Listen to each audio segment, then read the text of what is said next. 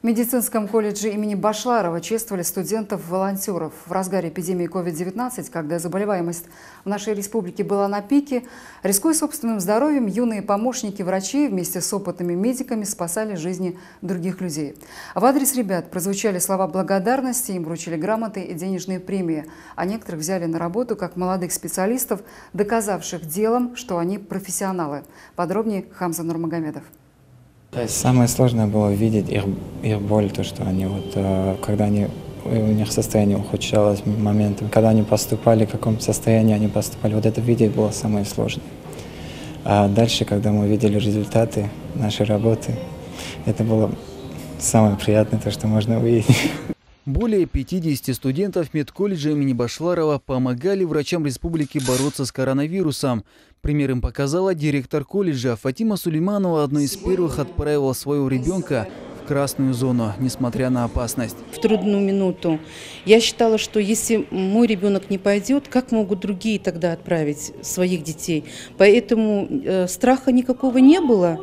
Была радость, что ребенок может оказать какую-то помощь и спасти чью-то жизнь. Счет спасенным человеческим жизням шел на сотни. Только в третьей городской больнице Махачкалы, где работали волонтеры колледжа, всего за один месяц и четыре дня вылечили около 200 пациентов.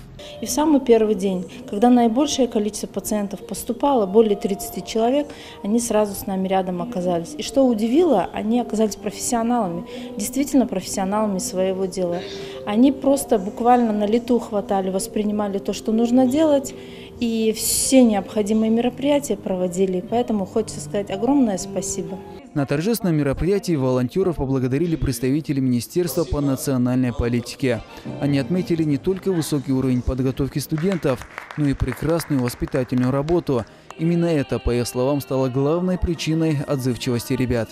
А самое главное не просто получить а, диплом и быть хорошим врачом, самое главное быть порядочным, добрым врачом, знающим свое дело в трудную минуту, которая а, не уйдет на больничный, не напишет заявление, не уволится, скажем так, а пойдет добровольно оказывать помощь своим согражданам. Помимо слов благодарности и добрых пожеланий, студентов-волонтеров ожидало еще одно поощрение. и вручили грамоты и денежные премии. 14 из них уже трудоустроены в третью городскую больницу Махачкалы. Именно там они впервые почувствовали себя настоящими врачами, спасающими жизни других людей. Хамза Нурмагомедов, Муса Салгиреев, Дауд Гасанов, телеканал ННТ, Махачкала.